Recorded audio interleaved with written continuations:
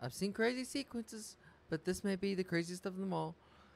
First, to start out with something kind, mature men. I don't know if I would call myself uh, mature, but men who are 25 plus. Drop one piece of advice to men who are 18 to 24. It could be anything. I would say that on off days, the days that don't feel good, right? Because I feel like life is like a roller coaster. You're gonna have your highs and your lows. On the lows, remind yourself these three things: you're good, you are great, you will get better. And uh, Kamala may need some of this advice right now because Justin, Kamala says that if someone breaks into her house, they're getting shot by her gun. He says, I shouldn't have said that. Kamala made comments while speaking out against school shootings. I'm a gun owner. Gun owner. Tim Walz is a gun owner. If someone breaks into my house, I'm probably gonna shoot him. I probably should not have said that, but my staff will deal with that later. Ah, let's see what.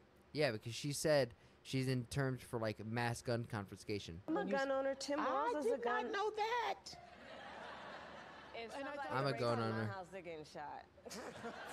Yes, yes. I, I, I- I hear that. I hear that. Probably should not have said that. But My I, staff will deal with that later.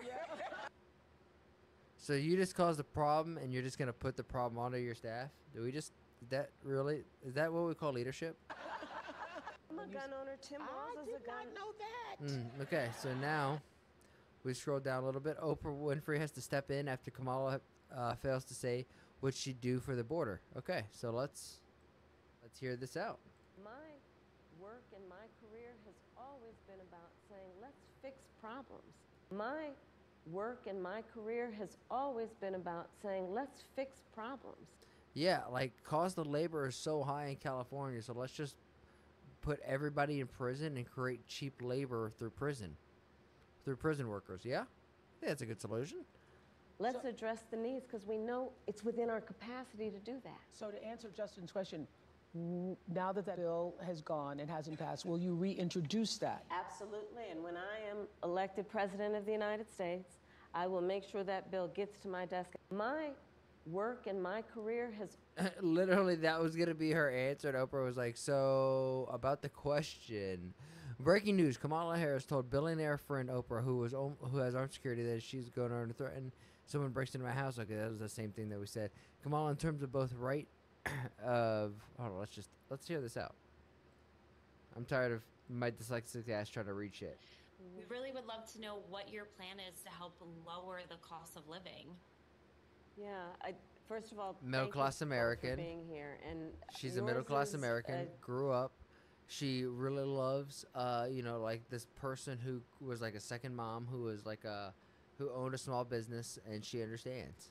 a story I hear around the country as I travel, and um, in terms of both rightly having the right to have aspirations and dreams and ambitions for your family, and working hard and finding that This dude's smile. Holy fuck! Just watch this guy smile. I'm sorry. I'm sorry. What? We're gonna restart this. Please watch this guy smile. We really would love to Well, know he's so what happy your to plan be is here. to help lower the cost of living. Yeah, I, first of all, thank you both for being here. And Oh. yours is a, a story I hear around the country as I travel.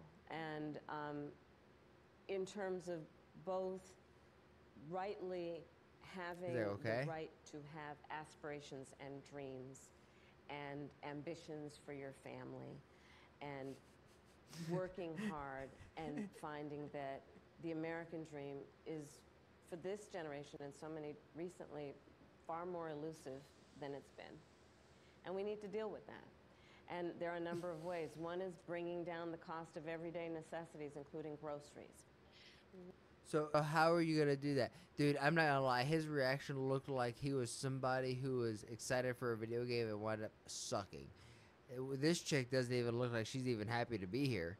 Oh my gosh, what is going on? Breaking news: Mass Hezbollah casualties reported from goats explode. What? Ex- Israel targets with exploding goats. They're coming for your pets, but now for a different reason. Another shocking story coming out of Lebanon that's breaking right now. Two days ago, pagers belonging to members of Hezbollah were simultaneously detonated And yesterday, walkie talkies all over the country began exploding in another wave of what appears to be Israeli retaliations. But just moments ago, in a truly surreal twist, the rectums of goats all over the country exploded.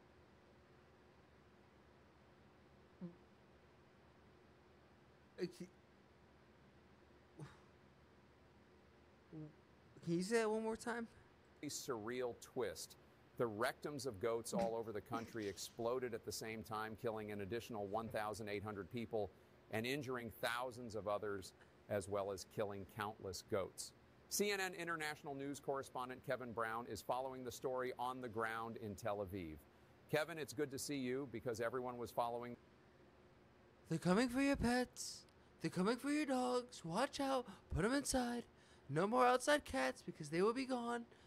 Because Israel targets Hezbollah with exploding goats, and in a surreal turn of events, the rectums of goats have exploded. I am literally quoting what I just heard on CNN. Did you put Roxy in your hamper?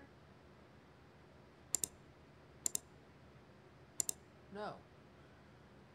She's in your hamper. She can't crawl in there and she can't jump off. And The, uh, like my dirty clothes hamper? Hold on, hold on, hold on, hold on, hold on.